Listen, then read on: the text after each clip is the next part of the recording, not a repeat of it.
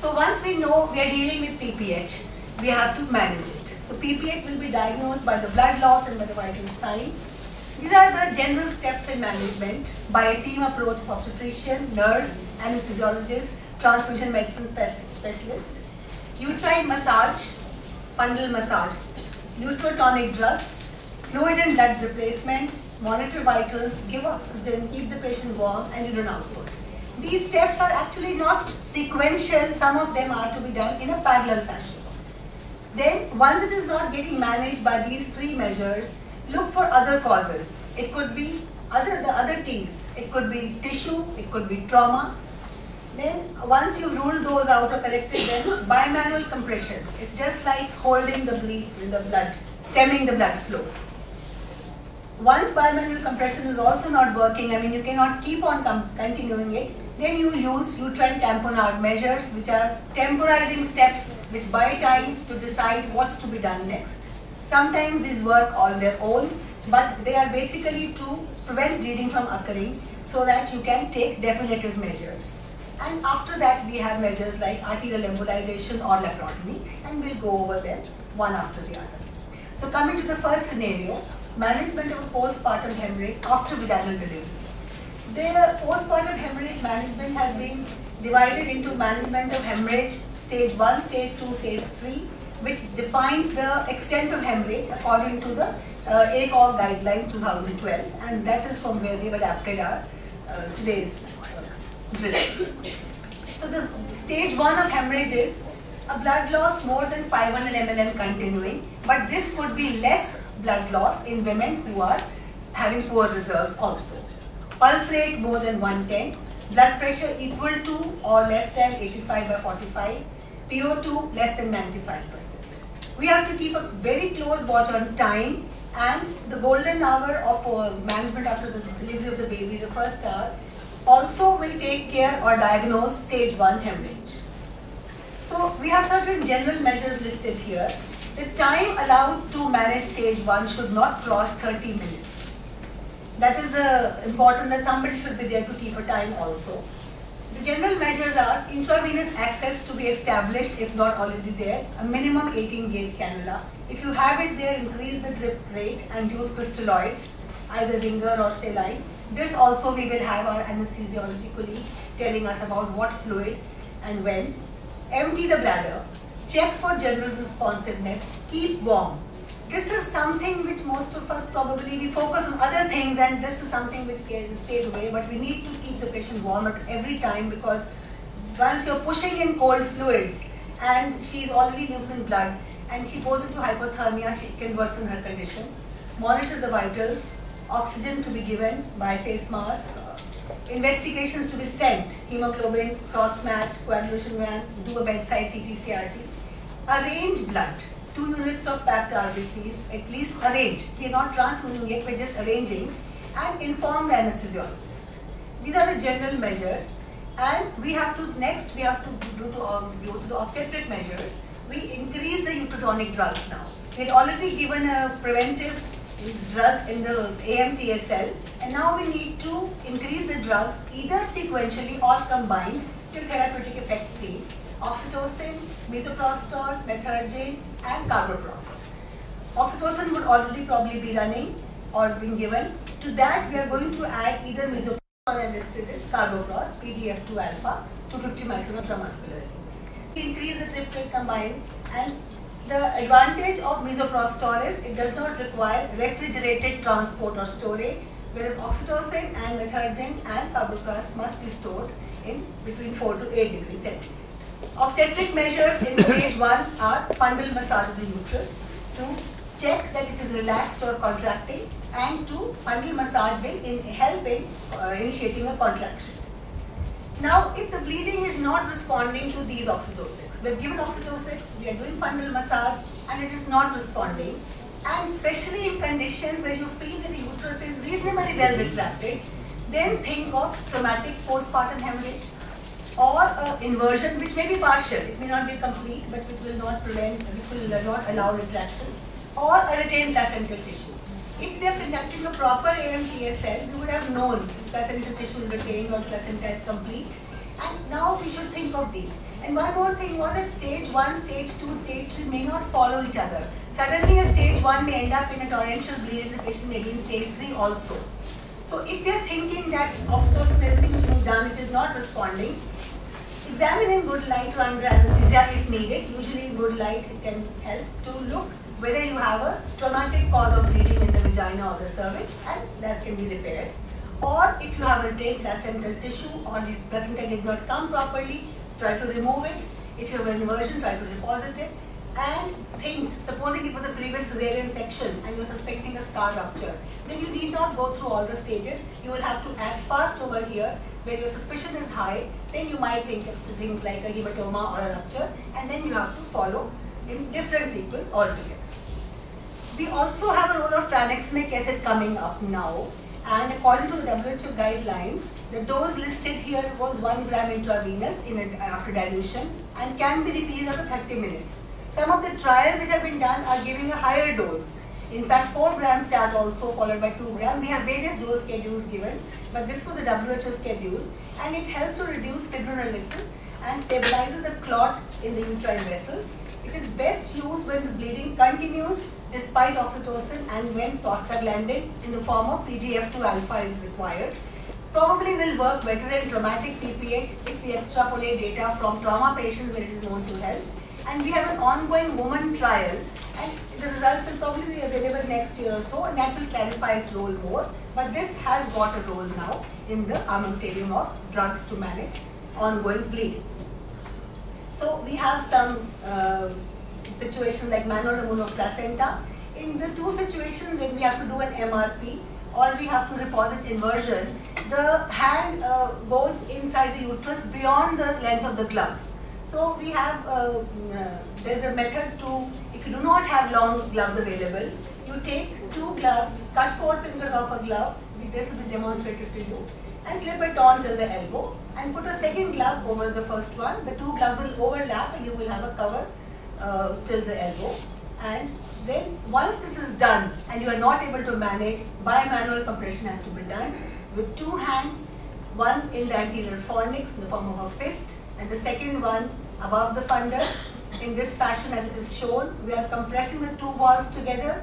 We are anti-flexing the uterus and that will kink the uterine arteries. So compression and kinking of uterine arteries will stem the bleeding and till you think what's to be done next. So we are going to display a stage 1 management on the mannequin. Good afternoon everybody. We have stage 1 obstetrical hemorrhage demonstrated here. I was taking this delivery and suddenly I noted that there was about 800 mlcc blood collected in the brass feed tray. And the uterus appears to be atonic also. Sister, doctor, I need your help here. Ongoing PPH. Please come and help me. Yes, doctor. Uh, please take the vitals of the patient. Sister, please increase the oxytocin rate. Mrs. A, Mrs. A, are you fine? Now she is conscious and oriented. And pulse rate is 100 and the BP is 100 by 60. I'm continuing the fundal massage here because the uterus appears to be atonic. Her saturation is 94%. Uh, doctor, can you please take blood and send it for cross match, two units? Take blood for cross match. Doctor, vitals?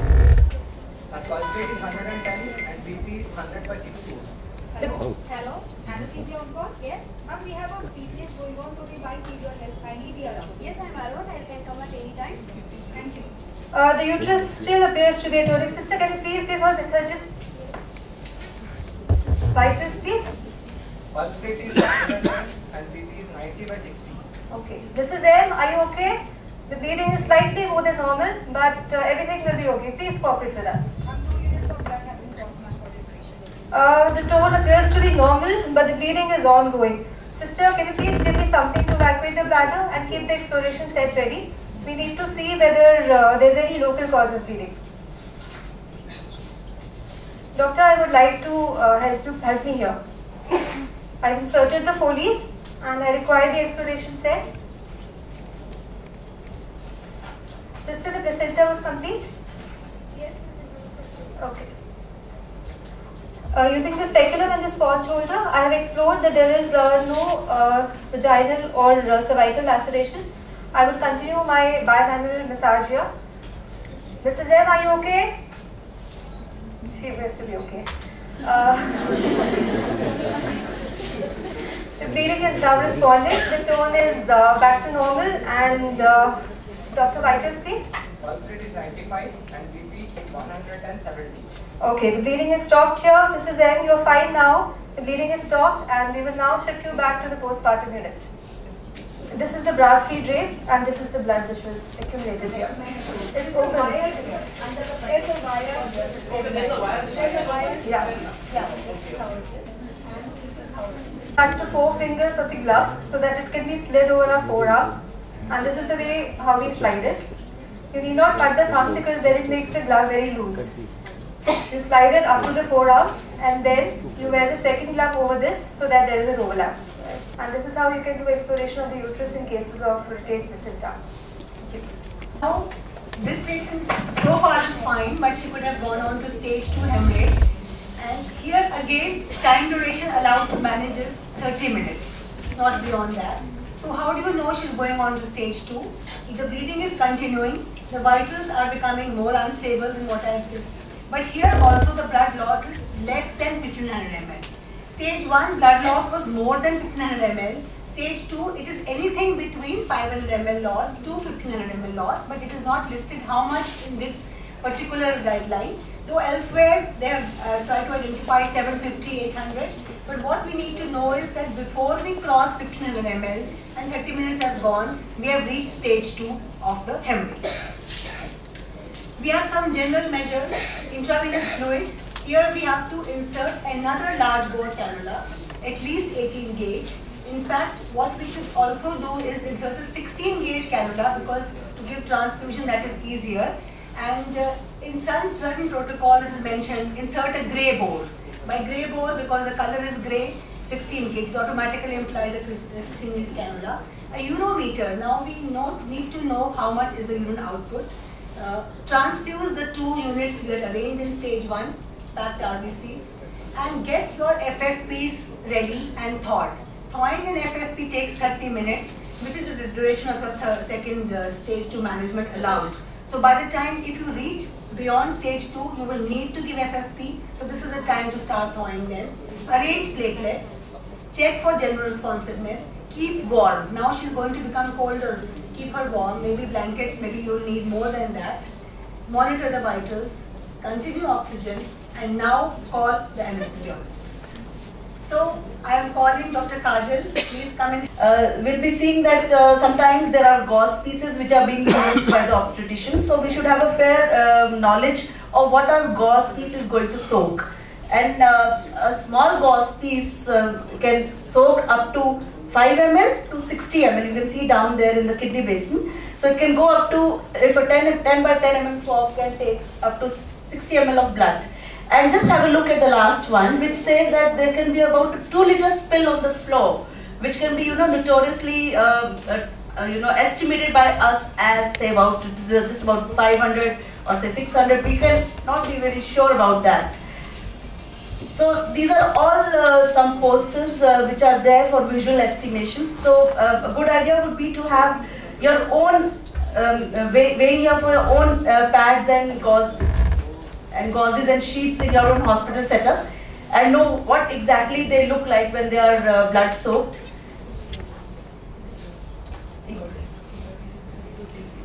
So these are visual tools which if you establish on your own in your own setup would go, go a long way in estimating the blood loss. Apart from that, there is a gravimetric method which is like weighing the gauze pieces or sponges actually. And then a gram of uh, your dry weight equals to 1 ml of a blood loss. So in PGI, we actually weighed our uh, sponges, the standard sponges which we are using for our various uh, surgeries. And the dry sponge weighs something like 25 uh, grams. However, whenever we are doing a laparotomy, we'll observe that our sister will dip the sponge in the water and squeeze it tight and then give it to you. It no longer remains 25 grams, it becomes 80 grams. So here is where you go wrong because a partially soaked sponge here is actually a moist sponge. So you will have to subtract your 110 grams from the 80 grams to know the actual volume. So this may be just containing about 30 ml of blood. And similarly, a fully soaked would contain about 150 minus 80, say 70 grams. And one which is dripping of blood would contain 180 grams. So similarly, you can also establish your own dry weights and uh, calculate accordingly. The best method of uh, knowing a blood loss would be direct measurement as we have seen in the brass bead ray and weighing methods. The practice points to take from this is have your own standard charts and posters displaying visual estimation of blood loss, know the dry weights, know the volume of blood that can soak the birthing sheets in your own hospital and watch out for suctions and drains. While uh, whereas uh, severity is concerned, you have to see uh, the loss of blood, the blood lo- on the following factors. The pulse, blood pressure, pulse pressure, capillary refill, respiratory rate and urine output and mental status as well. You must have observed the drill people are frequently asking for patients' well-being by calling out. So it's very very important that you have a communication with your patient and when a patient has typically bled say about uh, a 1500 to 2 liters, she, she has lost about 40% of her volume. She is going to show you in a hemodynamically unstable form very soon and she may be very anxious and confused which you mostly interpret as an irritable patient. She's irritating me. She's not irritating you. She is right now, she has lost enough blood and she's asking for help.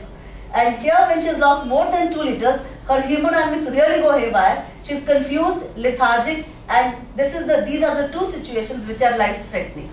And they fall in a red flag zone. So we have to immediately rescue them from here and bring them down to a green, green zone. So here I go back to our gynecologist. I'm going to give her crystalloids, ringer lactate or normal saline which we have in hand. But it's a tendency for most of us. Sister, give him Axil. Is it okay, Dr. Kajal? Can I give him Axil at this time or no? Yeah.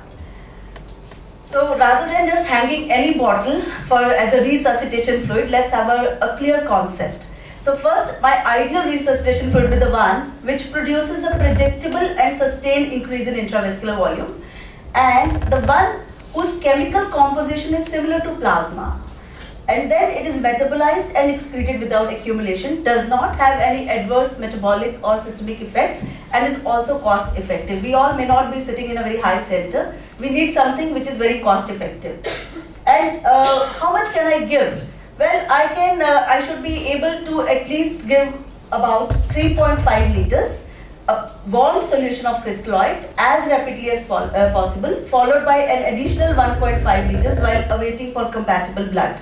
And this is in an attempt to increase the fluid overload, which can happen because 1.5 liters, uh, total 3.5 liters would mean the lady has lost more than a liter of blood. Normally, a liter of blood is substituted by 3 liters of crystalloids. So if you keep on giving her more and more uh, crystalloids, she's going to land up with interstitial edema and other problems like hypochloremia, etc. So let's not try to do that. Let's get blood as fast as possible and try to give maximum of 3.5 liters of warm crystalline solutions and I would prefer a lactated ringer solution. So should I use colloids uh, for acute resuscitation? Well, the current guidelines on management of severe post uh, perioperative bleeding by European Society of Anesthesiology does recommend, but with a weak evidence. And it says, in case you wish to use colloids, please go in for human albumin and hydroxyethyl starch. So they have, although they have also a very weak evidence for use in acute resuscitation. So uh, this is what a HES looks like, Hetastarch. So I also need, as man has already highlighted, a large bore cannula. Do I need CVP? Actually, CVP is becoming now outdated because we have better parameters to monitor our hemodynamic uh, resuscitations. And uh, basically, we in PGI, we are uh, focusing on uh, CVP for drawing samples and giving inotropic support because your peripheral circulation is now collapsed. So it would be a good idea to give uh, your uh, whatever dopamine, adrenaline, noradrenaline, whatever you're giving through your central venous line. Keep the patient warm and uh, you can use rapid infusers. We have one over there. Uh, we will dem- be demonstrating it to you.